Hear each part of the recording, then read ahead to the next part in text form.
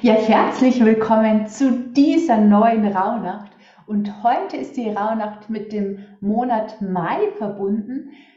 Die Natur treibt aus, wir haben Frühling und genau das begleitet uns auch in den Rauhnächten.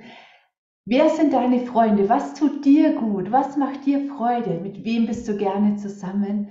Und ja, dafür gibt es natürlich auch eine passende Meditation. Hör da gerne rein und sei gern am 4.1. mit dabei. Schreib mir dafür, denn da gibt es eine kostenfreie Sitzung um 20 Uhr.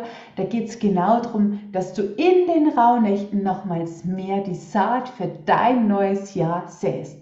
Also schreib mir bitte und sei am 4.1.20 Uhr dabei. Wir arbeiten mit der Kraft des Unterbewusstseins und ja, säen die Saat für ein großartiges neues Jahr.